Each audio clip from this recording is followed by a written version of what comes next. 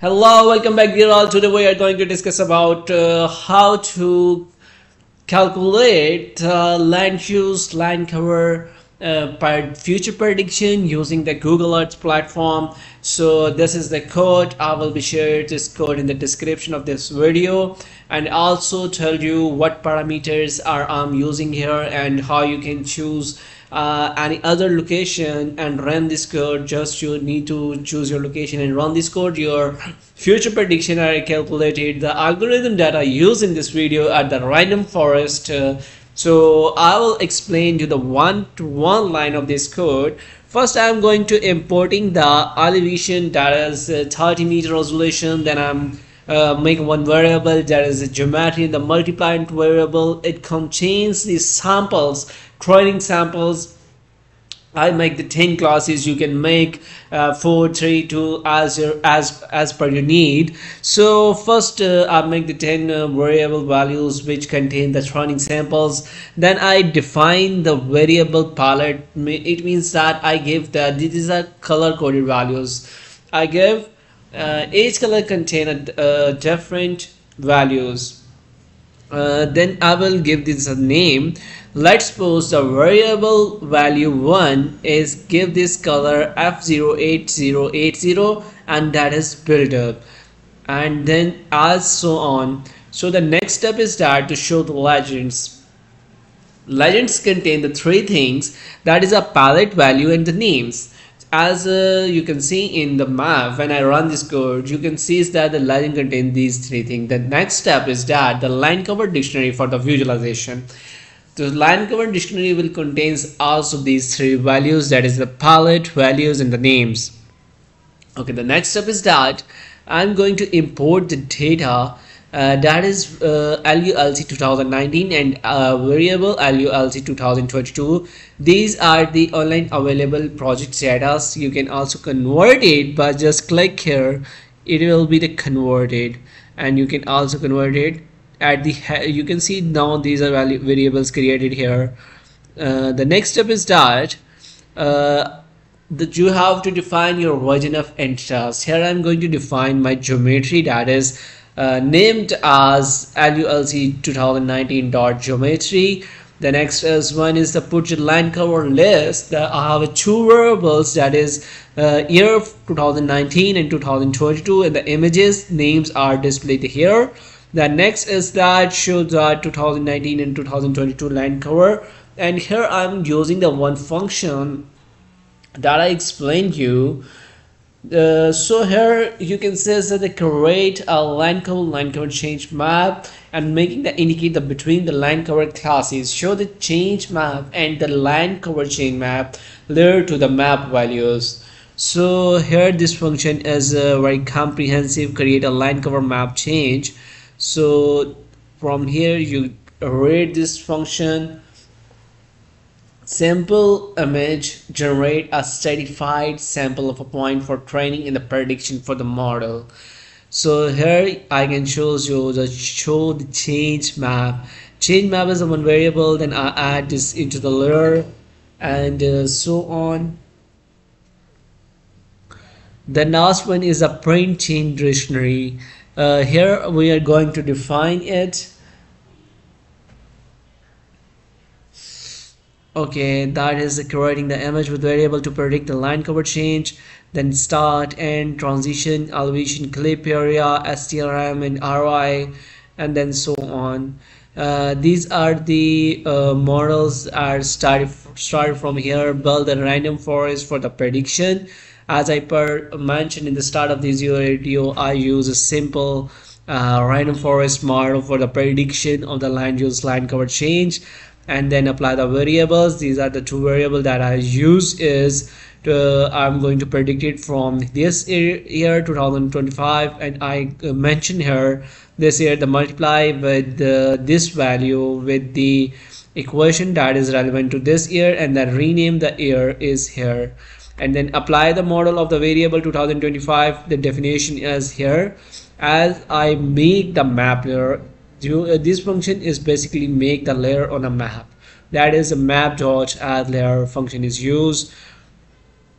Then add uh, the LULC prediction list here then calculate the land cover area pixels. This function is basically calculating the how much area will be predicted from the 2025 these are all calculation will perform here. And uh, calculate just within the geometry that is uh, region of interest ROI then so on then make a chart also for uh, the years that is 2019 22 and the 25 and uh, print the chart area uh, it is also make a chart then the last one function is for uh, UI based function that is user interface which shows the legends its heights and values in 20p x 20p x calculated here. And uh, this is a complete comprehensive code. Now I'm going to tell you the summary uh, of this code in just a few words. Okay first you have to line cover parameter define value palette name in the for line cover line classes and shows a legend display on a map for line cover classes.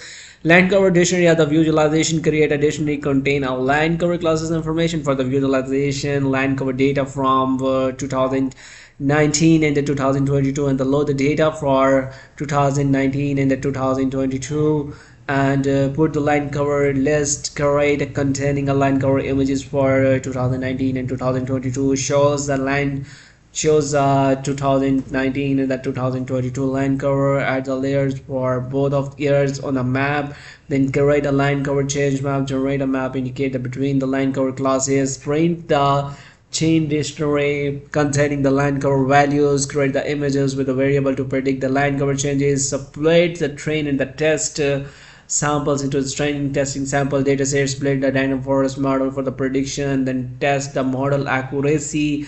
Uh, the next step is that the variable prediction for 2022 apply the model add uh, 2025 as well see list on the map calculate the land cover area as per year calculated for each year make a chart and then finally you can add the legends these are the little bit summary of this complete comprehensive code. Now i'm going to run this code and show what are the result come out.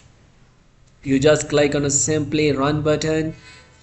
And uh, first we are going to explore the chart values in comprehensive these values.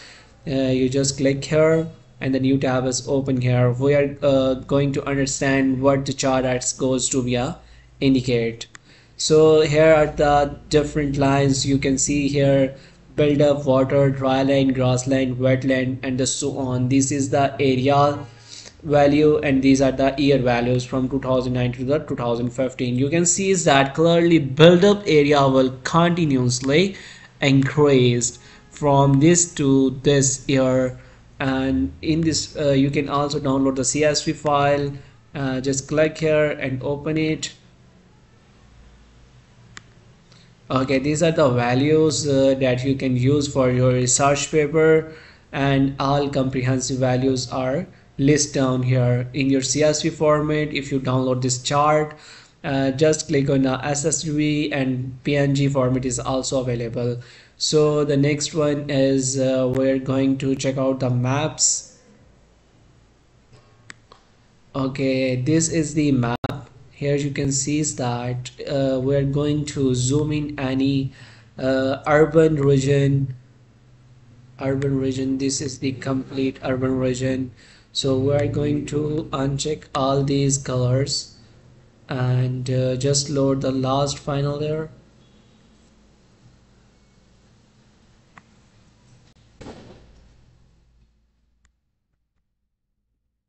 Zoom in here here we are going to comparison first uh, 2019 and 2022 so you can see is that the build-up area will be reduced here.